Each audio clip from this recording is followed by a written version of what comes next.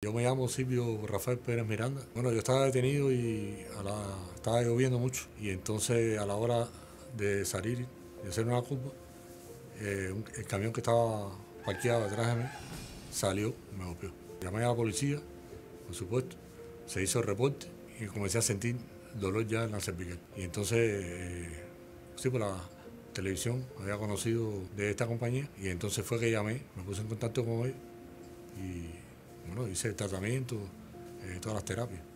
Enseguida me atendieron, eh, me dedicaron el tiempo con muy buena calidad.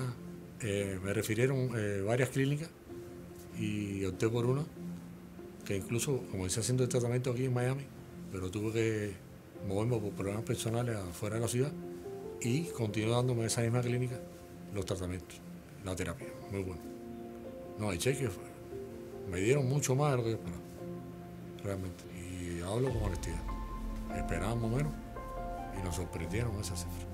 Uh, no sé si invertirlo en la compra de una casa, eh, no sé, salir de vacaciones, hace rato que no salimos.